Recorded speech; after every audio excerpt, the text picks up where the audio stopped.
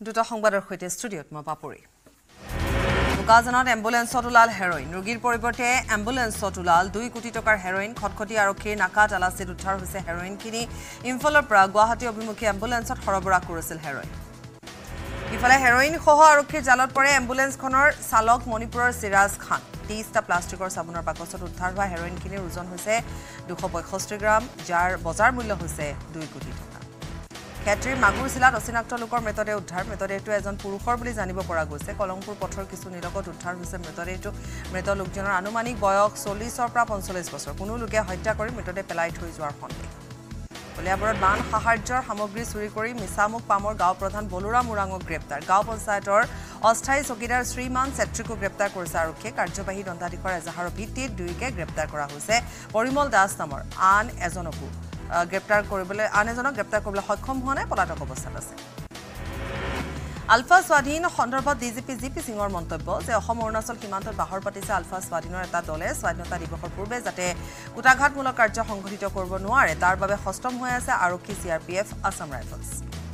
যোৰহাটত দিন দুপৰতে শিক্ষয়িত্ৰীক আক্ৰমণৰ ঘটনা। শুকুৰবাৰে দিনৰ ভাগতে দুৰ্বৃত্তই প্ৰণৱানন্দ বিদ্যা মন্দিৰ বিদ্যালয়ৰ শিক্ষয়িত্ৰীগৰাকীক লক্ষ্য কৰি আক্ৰমণ কৰাৰ অভিযোগ মইনা সিং নামৰ এজন লোকৰ বিৰুদ্ধে। ইয়াৰ পিছতে শনিবাৰে পুনৰ শিক্ষয়িত্ৰীগৰাকীৰ জীয়ৰীকো আক্ৰমণ কৰাৰ অভিযোগ উত্থাপন হৈছে মইনা সিঙৰ বিৰুদ্ধে। ইফালে বিদ্যালয়ৰ দুগৰাকী ছাত্ৰীৰ সাধাৰণ কাজিয়াৰ পাছতে। মইনা সিং নামৰ ব্যক্তিজনে শিক্ষয়িত্ৰী আৰু শিক্ষয়িত্ৰীগৰাকীৰ কন্যাৰ বিৰুদ্ধে আক্ৰমণাত্মক হৈ পৰে। পিছত বিদ্যালয়খনত আৰক্ষী উপস্থিত হৈ ঘটনাৰ তদন্ত আৰম্ভ কৰিছে। বৰ্তমানে অভিযুক্ত মইনা সিং পলাতক হৈ আছে।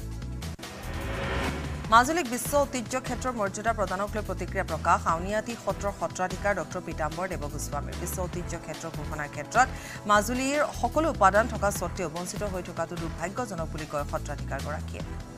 আনহাতে স্থানীয় ব্যক্তিৰ দ্বাৰা কোনো ভুল নথকাকৈ এখন ডছিয়াৰ প্ৰস্তুতৰ বাবে ৰাজ্য আৰু কেন্দ্ৰ চৰকাৰক ব্যৱস্থা গ্ৰহণ কৰাৰ দাবী জনালে মাজুলী জিলা সাহিত্য সভাৰ প্ৰাক্তন সভাপতি তথা শিল্পী ৰঞ্জিত ভূঞাই। পৰিয়ালক চঞ্চালে ভুৱন পাহাৰত গুলীবিদ্ধ তিনি যুৱকৰ মৃতদেহ। উগ্ৰপন্থীৰ সন্দেহত এনকাউণ্টাৰ কৰা হৈছিল তিনি যুৱকক। সুদীৰ্ঘ পঁচিছ দিনৰ অন্তত মৃতদেহ চঞ্চালে পৰিয়ালক ঘটনাৰ ন্যায় বিচাৰি সাব্যস্ত কৰা হৈছিলে তীব্ৰ প্ৰতিবাদ। শিলচৰ মেডিকেল কলেজ হাস্পতালৰ মৰ্গৰ পৰা পৰিয়ালে চমজি লয় মৃতদেহ। তিনিচুকীয়াৰ উন্নয়নৰ নগ্ন স্বৰূপ আজিলৈকে মুকলি নহল টি ডি এ অধীনত থকা নপুখুৰী বাছ আস্থান। নপুখুৰী বাছ আস্থানৰ এতিয়া দুৰৱস্থাৰ ফলত বাছ চালকৰ লগতে যাত্ৰীসকলৰ মাজত হাহাকাৰ। এজাক বৰষুণ দিলে একাঠো পানী হয়। নপুখুৰী বাছ আস্থানটোৰ চৌহদত। নপুখুৰী বাছ আস্থানটোৰ চৌদিশে এতিয়া কৰ্তব্যময় পৰিৱেশ। উজনি অসমৰ বাণিজ্যিক চহৰখনৰ উন্নয়নৰ নামত চৰকাৰে কোটি কোটি টকাৰ আবণ্টন দিয়াৰ পিছতো এই দুৰৱস্থা। সমাগত স্বাধীনতা দিৱস। স্বাধীনতা দিৱসৰ পূৰ্বে যোৰহাটৰ কমাৰ খাটোৱালৰ কুটিৰ শিল্পী অবিনাশ হাজৰিকাৰ ঘৰত ব্যাপক ব্যস্ততা। স্বামী স্ত্ৰী লগ লাগি স্বাধীনতা দিৱস উপলক্ষে তৈয়াৰ কৰিছে খাদীৰ হাজাৰ হাজাৰ ৰাষ্ট্ৰীয় পতাকা। এইবাৰ দহ হাজাৰ পতাকা নিৰ্মাণৰ লক্ষ্য লৈছে অবিনাশ হাজৰিকা আৰু তেওঁৰ পত্নীয়ে গুৱাহাটীৰ পশ্চিম বৰগাঁৱৰ পৰা উৎখাত কৰা হৈছে নকল টকা বনোৱা চক্ৰ। এছ টি এফৰ অভিযানত জব্দ হৈছে এক কোটি পঁচিছ লাখ নকল টকা। অভিযানত জব্দ দুটা নকল টকা বনোৱা মেচিন নকল টকা আৰু নকল টকা বনোৱা মেচিনসহ গ্ৰেপ্তাৰ অবিনাশ চৰকাৰ নামৰ এটা সৰবৰাহকাৰী। তেত্ৰিছ শতাংশ মহিলা আসন সংৰক্ষণ আইন তৎকালীনভাৱে কাৰ্যকৰী কৰাৰ দাবীত গুৱাহাটীৰ ৰাজীৱ ভৱনত প্ৰতিবাদী কাৰ্যসূচী। অত্যাৱশ্যকীয় সামগ্ৰীৰ আকাশলংঘী মূল্যবৃদ্ধিৰ পৰা পৰিত্ৰাণ আৰু শিশু মহিলাৰ সুৰক্ষাৰ দাবীত ৰাজীৱ ভৱনত এনেধৰণে প্ৰতিবাদ কৰা হয়। শোণিতপুৰৰ জামুগুৰিঘাটৰ ৰঙা চকুৱাৰ ব্যক্তিগত বিদ্যালয় নিৰ্মাণৰ নামত বন ধ্বংসযোগ্য বন বিভাগৰ অনুমতি অবিহনে তিনি বিঘা মাটি মূল্যৱান গছ কাটি তহিলং কৰিলে ঠিকাদাৰে। বন বিভাগৰ নিৰ্দেশনা নমনা ঠিকাদাৰৰ বিৰুদ্ধে ব্যৱস্থা গ্ৰহণৰ দাবী। দবকা সামূহিক চিকিৎসালয়ত তীব্ৰ উত্তেজনা। প্ৰসূতিৰ চিকিৎসাৰ নামত ধন সংগ্ৰহৰ অভিযোগ। হাস্পতালখনত চিকিৎসা চলি থকাৰ সময়তে নাৰ্ছে এগৰাকী প্ৰসূতিৰ পৰিয়ালক চাৰি হাজাৰ টকা দাবী কৰাৰ অভিযোগ। বিচৰা ধন নিদিয়াৰ বাবে চিকিৎসা গাফিলতি কৰাৰ হাস্পতালখনত সৃষ্টি হয় উত্তেজনাপূৰ্ণ পৰিস্থিতি। কোকৰাঝাৰ জিলা কাৰাগাৰ কৰ্তৃপক্ষৰ এক যোগাত্মক পদক্ষেপ আঠসত্তৰ সংখ্যক স্বাধীনতা দিৱসৰ সৈতে সংগতি ৰাখি কোকৰাঝাৰ চহৰত চাফ চিকুণতাৰ চাফাই অভিযান। দহ আৰু এঘাৰ আগষ্টত কোকৰাঝাৰ জিলা কাৰাগাৰ কৰ্তৃপক্ষই চহৰখনত চাফ চিকুণতাৰ কাৰ্যসূচী ৰূপায়ণ কৰে। অমৃত বৃক্ষ আন্দোলনৰ সংস্কৰণ দুইৰ অধীনত বৰচলা সমষ্টিৰ খুটা পুতাত একেদিনাই দুই হাজাৰ গছপুলি ৰোপণ কৰা হয়। বিধায়ক গণেশ কুমাৰ লিম্বুৰ নেতৃত্বত গ্ৰামাঞ্চলত ক্ষুদ্ৰ বনাঞ্চল গঢ়ি তোলাৰ লক্ষ্যৰে গছপুলি ৰোপণ কৰা হয়। গছ ৰোপণ কাৰ্যসূচীত অংশগ্ৰহণ স্কুলীয়া ছাত্ৰ ছাত্ৰীসকলৰ গছপুলি ৰোপণৰ কাৰ্যসূচীৰ আনুষ্ঠানিকভাৱে উদ্বোধন কৰিলে বৰচলাৰ বিধায়ক গণেশ লিম্বু আৰু জিলা আয়ুক্ত দেৱপ্ৰসাদ মিশ্ৰই। বৰচলাৰ খুটাপুটা হাইস্কুল খেলপথাৰৰ ভূমিত ক্ষুদ্ৰ বনাঞ্চল গঢ়ি তোলাৰ লক্ষ্যৰে ৰোপণ কৰা হয় দুহেজাৰ গছপুলি কামপুৰৰ মাটিখোলা গাঁৱৰ পৰা সন্ধানহীন এগৰাকী বিবাহিত মহিলা। বৃহস্পতিবাৰে সন্ধিয়া সাত বজাৰ পৰা ৰহস্যজনকভাৱে সন্ধানহীন আব্দুল কুদ্দুছৰ পত্নী মুছলিমা বেগম ঘটনা সন্দৰ্ভত কামপুৰ থানাত এজাহাৰ দাখিল কৰিছে স্বামীয়ে। নগাঁৱৰ ৰূপহীহাট আৰক্ষীৰ সফলতা চুৰিকাণ্ডৰ আঠচল্লিছ ঘণ্টাৰ ভিতৰতে আৰক্ষীয়ে আটক কৰিলে পাঁচটাকৈ গভাই চোৰক। বুধবাৰে ৰূপহী বজাৰত একেলগে তিনিটাকৈ চুৰিকাণ্ডৰ ঘটনাত জড়িত পাঁচটা চোৰক গ্ৰেপ্তাৰ। ৰীণা ৰাণী দাস বিপ্লৱ দত্ত মালাকাৰ ইফতিকাৰ হুছেইন আৰু মণ্টু চক্ৰৱৰ্তী। এখন জুৱেলাৰীত বন্দী হোৱাৰ চি চি টিভি ভিজুৱেলৰ চাই আৰক্ষীয়ে পাঁচটা চোৰক গ্ৰেপ্তাৰ কৰিবলৈ সক্ষম হৈছে। দ্বিতীয় চোৰকেইটাৰ পৰা উদ্ধাৰ হৈছে বৃহৎ পৰিমাণৰ সোণৰ আ অলংকাৰ।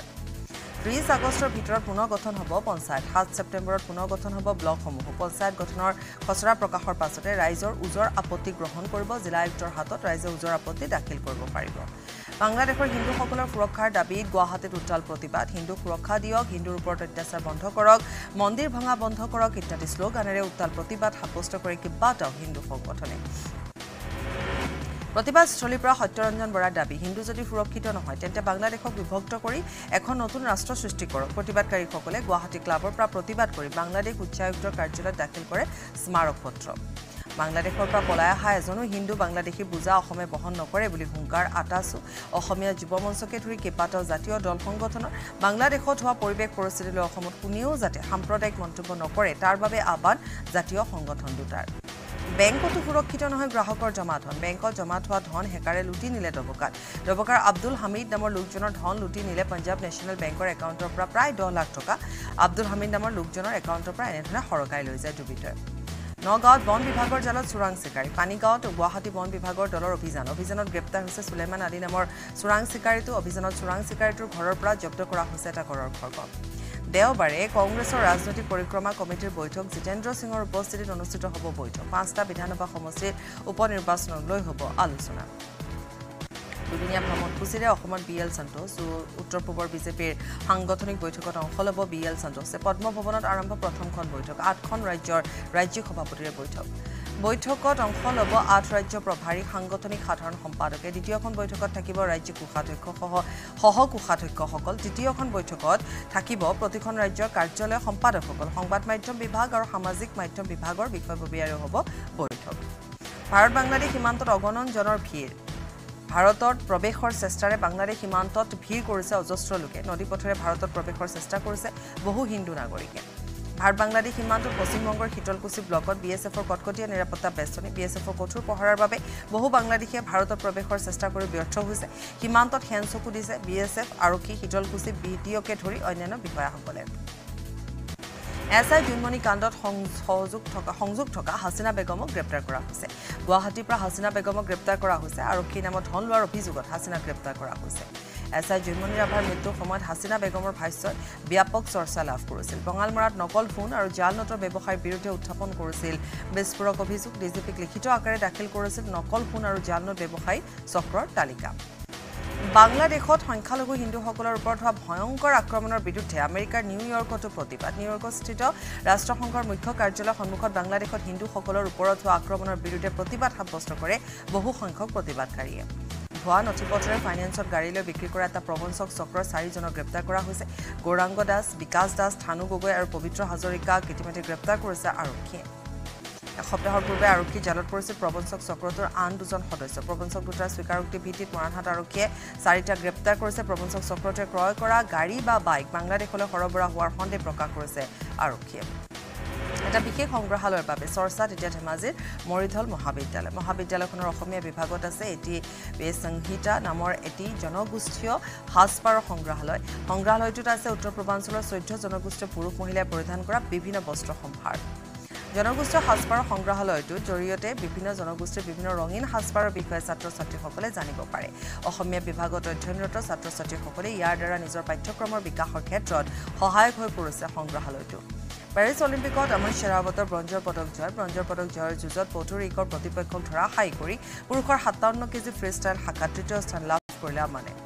আমনৰ পদকেৰে ভাৰতৰ পদকৰ সংখ্যা ছটালৈ বৃদ্ধি এই পৰ্যন্ত পেৰিছ অলিম্পিকত ভাৰতৰ দখলত এটা ৰূপ আৰু পাঁচটা ব্ৰঞ্জৰ পদক। ব্ৰাজিলত ভয়ংকৰ বিমান দুৰ্ঘটনা বিমান দুৰ্ঘটনাত বাষষ্ঠিগৰাকী যাত্ৰীৰ মৃত্যু। ব্ৰাজিলৰ চাও পাউলত ভয়ংকৰ বিমান দুৰ্ঘটনা জনবসতিপূৰ্ণ অঞ্চলত ভূপতিত যাত্ৰীবাহী বিমান। দুৰ্ঘটনাত পতিত যাত্ৰীবাহী বিমান A T R seventy two five hundred দক্ষিণ পাৰানাৰ কাস্কাবেলৰ পৰা চাও পাউলোৰ গোৱাৰুল হছ বিমানবন্দৰ অভিমুখে আছিল। বিমানখন মাজ আকাশতে ইঞ্জিন বিকল হৈ ভিন হেডত ভূপতিত হয় বিমানখন। চুবুৰীয়া ৰাজ্য মেঘালয়ৰ পৰা অসমলৈ অব্যাহত আছে বন্যপ্ৰাণীৰ অংগৰ সৰবৰাহ। গোৱালপাৰাৰ দৰংগিৰিত বনৰ বাকলিসহ গ্ৰেপ্তাৰ হৈছে চাৰিটা সৰবৰাহকাৰী। গোপন সূত্ৰৰ খবৰৰ ভিত্তিত বন বিভাগে এখন ধাবাৰ পৰা বনৰ বাকলিসহ গ্ৰেপ্তাৰ কৰে চাৰি সৰবৰাহকাৰী। ধৃত সৰবৰাহকাৰী কেইটা মেঘালয় বাৰামৌজাৰ জিন্দাছ মমিন ফেভাৰছন মমিন কিলেন চাংমা আৰু মাণ্ডা ড্ৰপৰ কাৰ্বিষ্ট মমিন। জব্দকৃত বনৰ বাকলিখিনি বজাৰৰ মূল্য হৈছে প্ৰায় ডেৰ লাখ টকা। গহপুৰত নিৰ্মীয়মান ভৱনত অসুৰক্ষিতভাৱে নিজৰ সন্তানক ৰাখি কাম কৰি আছে শ্ৰমিকসকলে। সুমেজা ইলেক্ট্ৰিকেল ইনফ্ৰা প্ৰাইভেট লিমিটেডৰ অধীনত চলি থকা কৰ্মস্থলীত শিশুৰ বাবে কোনো সুৰক্ষা ব্যৱস্থাই নাই। যিকোনো মুহূৰ্তত দুৰ্ঘটনাৰ আশংকা। দৃষ্টিনন্দন হৈ পৰিছে জাগিৰোডৰ ডিমৰীয়া ৰাষ্ট্ৰীয় ঘাইপথ ঘাইপথৰ ডিভাইডাৰত এতিয়া নানা ৰঙী ফুলৰ সমাহাৰ। প্ৰকৃতিৰ এই অপৰূপ দৃশ্য উপভোগ কৰি আপ্লুত হৈছে বহুজন। গহপুৰৰ ৰেল ষ্টেচনলৈ অহা যোৱা কৰা পথৰ বিধ্বস্তৰো পথটোৰ মাজত প্ৰকাণ্ড প্ৰকাণ্ড গাঁত। প্ৰতিদিনে এই জৰাজীৰ্ণ পথটোৰে গহপুৰ ৰেল ষ্টেচনলৈ অহা যোৱা কৰিবলগীয়া হৈছে যাত্ৰী কাণ সাৰ নাই চৰকাৰ প্ৰশাসনৰ। খবৰ আৰু আছে সময় বিৰতি। উভতি আহিছোঁ বিৰতিৰ পাছত। মৰাণৰ পৰা সন্ধানহীন এজন সপ্তম শ্ৰেণীৰ ছাত্ৰ সন্ধানহীন কিশোৰ ছাত্ৰজন মৃগাংক ৰায়। বুধবাৰৰে পৰা সন্ধান নাই মৃগাংকৰ বুধবাৰে সন্ধিয়া ঘৰৰ পৰা ওলাই গৈছিলে ছাত্ৰজন মৰাণ জাতীয় বিদ্যালয়ত অধ্যয়নৰত মৃগাংক প্ৰতিশ্ৰুতি দি পূৰণ নকৰিলে মুখ্যমন্ত্ৰী ডক্টৰ হিমন্ত বিশ্ব শৰ্মাই। বাক্সাৰ গাঁতি অঞ্চলত আজিও স্থাপন নহল শীতলীকৰণ ভাণ্ডাৰ। যাৰ বাবে সংৰক্ষণৰ অভাৱত কম দামতে নেমু বা অন্য শাক পাচলি বিক্ৰী কৰিবলৈ বাধ্য হৈছে এতিয়া খেতিয়কসকল। মৰিয়নী প্ৰসূতিৰ পুষ্টিকৰ খাদ্য যোগানৰ নামত ভয়ংকৰ লুণ্ঠন পুষ্টিকৰ খাদ্য সামগ্ৰী যোগানৰ নামত বৃহৎ কেলেংকাৰী অভিযোগ প্ৰসূতিৰ খাদ্যৰ টোপোলা যোগান ধৰাৰ নামত এছ কে বৰদলৈ নামৰ ব্যক্তিজনে কেলেংকাৰী কৰাৰ অভিযোগ। নিপকৈ চাৰিখনকৈ গেট একেলগে খুলি দিয়াৰ পিছতে বানৰ কবলত মৰঙী মৌজাৰ কেইবাখনো গাঁও। মানুহৰ ঘৰ দুৱাৰ লগতে খেতিপথাৰৰ ব্যাপক ক্ষয় ক্ষতি কেইবা হেক্টৰ ভূমি বানৰ কবলত পৰাত কৃষকৰ মাজত হাহাকাৰ। মৰঙী ৰাজচক্ৰৰ কেন্দুগুৰি মিঠাম চাপৰি কৰ্দৈগুৰি ভোলাগুৰি দুসুতিমুখৰ গাঁৱৰ কৃষকৰ মাজত হাহাকাৰ এই পৰ্যন্ত জিলা প্ৰশাসনৰ তৰফৰ পৰা কোনো ব্যৱস্থা গ্ৰহণ নকৰাত কৃষক ৰাইজৰ মাজত ক্ষোভ চৰকাৰক ক্ষতিপূৰণৰ দাবী কৃষক ৰাইজৰ। চামগুৰি হাঁহচৰা বৰালি গাঁৱত হাতী মানুহৰ সংঘাতৰ ভয়ংকৰ ৰূপ। পুৱতি নিশা বন্যহস্তীৰ জাকে ভাঙিলে তিনিটাকৈ পৰিয়ালৰ বাসগৃহ। হেমন্ত দাস মুকুল ঠাকুৰীয়া আৰু ৰঞ্জিত দাসৰ বাসগৃহ ভাঙিলে বন্যহস্তীয়ে। বন্যহস্তী খেদিবলৈ বন বিভাগে কোনো ব্যৱস্থা গ্ৰহণ নকৰাৰো অভিযোগ। ৰঙাপৰাত হনুমান জয়ন্তী উদযাপন। হনুমান জয়ন্তীৰ সৈতে সংগতি ৰাখি উলিওৱা হয় এক বিশাল শোভাযাত্ৰা। জয় শ্ৰীৰাম ধ্বনিৰে মুখৰিত হৈ পৰে ৰঙাপৰা চহৰ। ৰঙিয়াৰ মাদৈকতাত পথ নিৰ্মাণৰ নামত ব্যাপক দুৰ্নীতি চূড়ান্ত ময়মতালিৰে ৰাইজক দাবী ধমকি দি পথ নিৰ্মাণৰ চেষ্টা ঠিকাদাৰ বাহাৰুল ইছলামৰ। ওদালগুৰি উন্নয়নৰ ফুপুলা স্বৰূপ। আজিও নিৰ্মাণ নহল। কলাইগাঁও চহৰৰ পৰা ওদালগুৰি চহৰ সংযোগী পথটোৰ মাজৰ চুবাত থকা পকী দলংখন পাঁচ বছৰ পূৰ্বে বানত উটি গৈছিল পকী দলংখন স্থানীয় ৰাইজে বহুবাৰ দলংখন নিৰ্মাণৰ বাবে আবেদন জনোৱাৰ পিছতো কোনো ব্যৱস্থা গ্ৰহণ নকৰিলে চৰকাৰ প্ৰশাসনে যাৰ বাবে অতি বিপদসংকুলভাৱে যাতায়াত অব্যাহত ৰাখিছে বৃহত্তৰ অঞ্চলটোৰ ৰাইজে। মনত অদম্য ইচ্ছাশক্তি আৰু সাহস থাকিলে সকলো সম্ভৱ তাকে প্ৰমাণ কৰি দেখুৱালে জোনাই ঔপুলি পাচনি কোলাত কেঁচুৱালৈ ই ৰিক্সা চলাই পৰিয়াল পোহপাল দিছে ঔপুলি পাচনি বাংলাদেশৰ প্ৰাক্তন প্ৰধানমন্ত্ৰী শ্বেখ হাছিনাৰ পুত্ৰই ধন্যবাদ জ্ঞাপন কৰিলে ভাৰত চৰকাৰক। মাতৃক নিৰাপত্তা দি জীৱন ৰক্ষা কৰাৰ বাবে প্ৰধানমন্ত্ৰীক ধন্যবাদ শ্বেখ হাছিনাৰ পুত্ৰ সজীৱ ৱাজেদ জয়ৰ। ভাৰতে বিশ্বত নেতৃত্বৰ ভূমিকা লোৱাৰ প্ৰয়োজন বুলি মন্তব্য শ্বেখ হাছিনাৰ পুত্ৰ ভাৰতৰ পূব দিশত হাছিনাৰ চৰকাৰে বাংলাদেশত শান্তি বজাই ৰাখিলে বিদ্ৰোহ বন্ধ কৰিলে আৰু উপমহাদেশৰ পূব দিশটো সুস্থিৰ কৰি সুস্থিৰ হৈ থাকিব বুলিও মন্তব্য কৰিলে ৱাজেদ জয়। মেঘালয় জেহাদৰ বলি Assam. Meghalaya U S T এমে অসমৰ বিৰুদ্ধে জেহাদ কৰাৰ অভিযোগ মুখ্যমন্ত্ৰী হিমন্ত বিশ্ব শৰ্মাৰ। স্পষ্টবিদৰ পৰামৰ্শ নোলোৱাকৈ কোনো আৰ্কিটেক্টৰ পৰামৰ্শৰ অবিহনে মেঘালয়ৰ পাহাৰখনৰ বাবেই গুৱাহাটীত হৈছে ভয়াৱহ কৃত্ৰিম বান। ইউ এছ টি এমৰ সন্দৰ্ভত মেঘালয় চৰকাৰে আলোচনা মুখ্যমন্ত্ৰী হিমন্ত বিশ্ব শৰ্মাৰ। অন্ত পৰা নাই মমতা দিদিৰ আলু ৰাজনীতি। এমাহে পশ্চিমবংগৰ মমতা চৰকাৰে অসমলৈ সোমাবলৈ দিয়া নাই আলু অনা বাহন। অসম বংগত সীমাত আবদ্ধ শাৰী শাৰী ট্ৰাক। কেৱল পশ্চিমবংগৰ নহয় আবদ্ধ হৈ আছে পঞ্জাৱ আৰু হাৰিয়ানাৰ আলু অনা ট্ৰাকো। মাজুলীৰ উত্তৰ পাৰৰ খেৰকটা নদীত অঘটন। কোলামোৱা ঘাটত সংঘটিত নাও দুৰ্ঘটনা কথমপি প্ৰাণ ৰক্ষা চাৰিগৰাকীকৈ ছাত্ৰী। বিদ্যালয় ছুটিৰ পাছত টুলুঙা নাৱেৰে ঘৰলৈ কৰিছিল যাত্ৰা।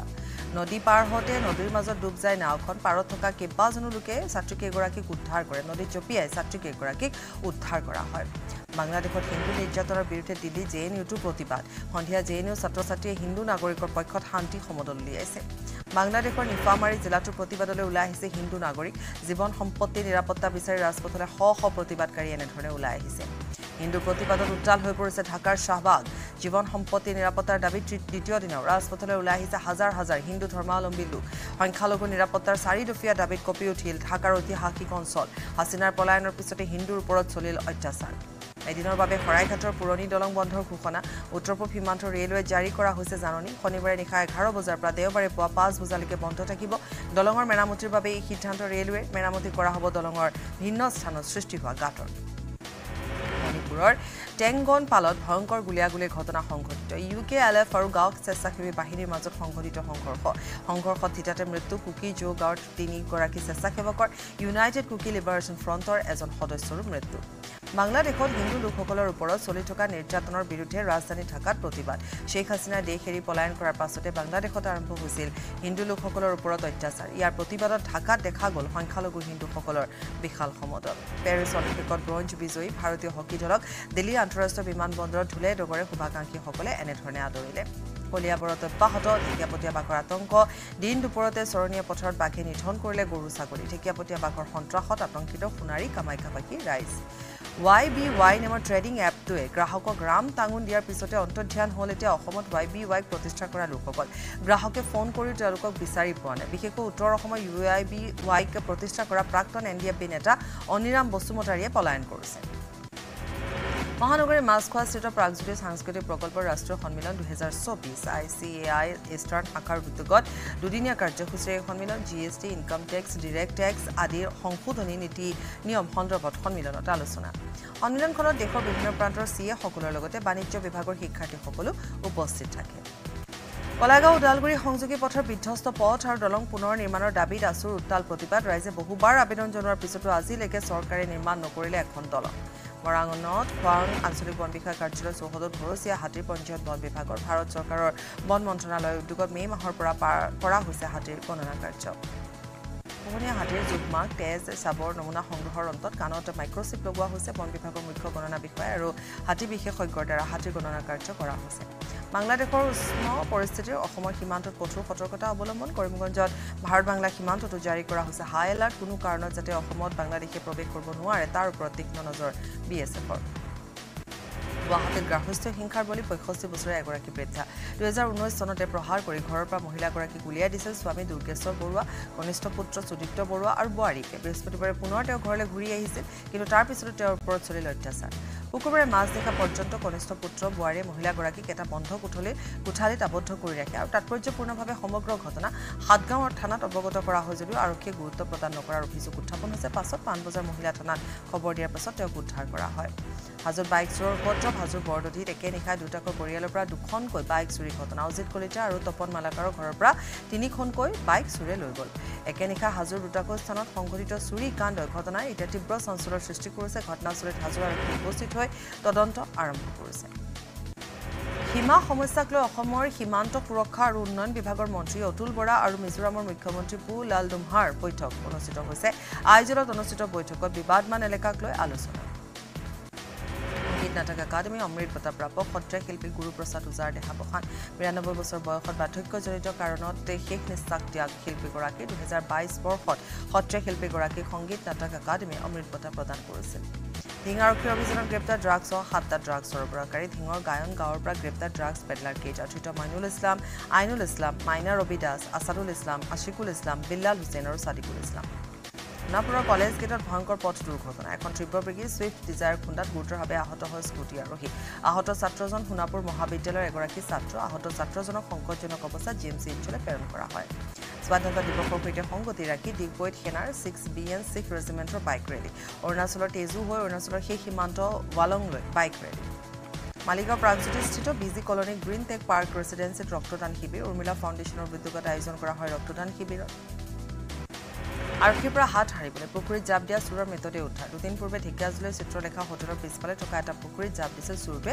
আৰক্ষীয়ে পুখুৰীটোৰ পৰা চোৰটোৰ মৃতদেহ উদ্ধাৰ কৰে। বিশিষ্ট শিক্ষাবিদ সু সাহিত্যিক খগেন্দ্ৰনাথ ভূঞাৰ সাতাশী সংখ্যক জন্ম দিৱস উদযাপন। শিৱসাগৰৰ যুৱদল প্ৰেক্ষাগৃহত শিৱসাগৰ জিলা সাহিত্য সভাৰ সভানেত্ৰী ডক্টৰ নিৰুপমা মহন্তৰ সভাপতিত্বত অনুষ্ঠিত হয় বিশেষ সভাখন। সদৌ বিটিআৰ অপ্ৰাদেশিকতাৰ প্ৰাথমিক উচ্চ আৰু ছিনিয়ৰ ছেকেণ্ডেৰী স্কুল কোঅৰ্ডিনেশ্যনৰ কমিটিৰ সংবাদমেল বিটিআৰ এলেকাৰ অপ্ৰাদেশিকৃত প্ৰাথমিক উচ্চ মাধ্যমিক আৰু ছিনিয়ৰ ছেকেণ্ডেৰী বিদ্যালয়সমূহ প্ৰাদেশিকৰণ নোহোৱাত ক্ষোভ পুৰণি গুদামৰ গড়মূৰত পথ দুৰ্ঘটনা। কলিয়াবৰৰ পৰা নগাঁও অভিমুখী A S zero' two A P three two six six নম্বৰৰ ছুইফ্ট বাহন দুৰ্ঘটনাগ্ৰস্ত হৈছে। প্ৰথমতে প্ৰাণ ৰক্ষা বাহনখনৰ দুই যাত্ৰী ডিভাইডাৰত খুন্দিয়া দুৰ্ঘটনাত পতিত হয় বাহনখন। অভিষেকতে অলিম্পিক পদক জয়েৰে চমক দিয়া আমন শ্বেৰাৱতক অভিনন্দন। একৈছ বছৰ বয়সতে পেৰিছ অলিম্পিকত ব্ৰঞ্জৰ পদক লাভ কৰা অময় শ্বেৰাৱতক অভিনন্দন জনাই আই অ' চিৰ সদস্য তথা ৰিলায়েন্স ফাউণ্ডেশ্যনৰ অধ্যক্ষ নিতা আম্বানীয়ে ষষ্ঠ দিনাও জলমগ্ন মহানগৰী পাঞ্জাৱাৰী জুৰিপাৰ সোমবাৰৰ পৰা বৰ্তমানলৈ জুৰিপাৰৰ বাট পথৰ লগতে ঘৰৰ ভিতৰতো আছে কৃত্ৰিম বানৰ পানী। লেতেৰা দুৰ্গন্ধময় পৰিৱেশত সময় পাৰ কৰিছে জুৰিপাৰৰ বাসিন্দাসকলে কিন্তু ছদিনীয়া অঞ্চলটোত ৰাইজে দেখা নাই জি এম চি তথা স্বাস্থ্যকৰ্মী। শোণিতপুৰৰ জামুগুৰি হাটত জঘন্য ঘটনা। ষাঠি বছৰীয়া ককাকৰ কামনাৰ বলি হ'ল নাতিনীয়েক। সাত বছৰীয়া নাতিনীয়েক যৌন নিৰ্যাতন জামুগুৰি হাটৰ বাকুলা গাঁৱত। নুৰজামাল আলী আৰু ষাঠি বছৰীয়া লোকজনে নিজৰ ৰুমলৈ মাতি নি সাত বছৰীয়া নাতিনীয়েকক যৌন নিৰ্যাতন চলায়। প্ৰধানমন্ত্ৰী নৰেন্দ্ৰ মোদী কেৰালাত উপস্থিত হৈ গৈ প্ৰধানমন্ত্ৰী নৰেন্দ্ৰ মোদী বায়ুসেনাৰ এম আই ছেভেণ্টিন হেলিকপ্টাৰ যোগে বাইনাৰৰ বান ভূমিস্খলন বিধ্বস্ত অঞ্চল পৰিদৰ্শন কৰে প্ৰধানমন্ত্ৰীগৰাকীয়ে আৰু ইয়াৰ সৈতে দ্ৰুত সংবাদৰ পৰা বিদায় লৈছোঁ। নমস্কাৰ.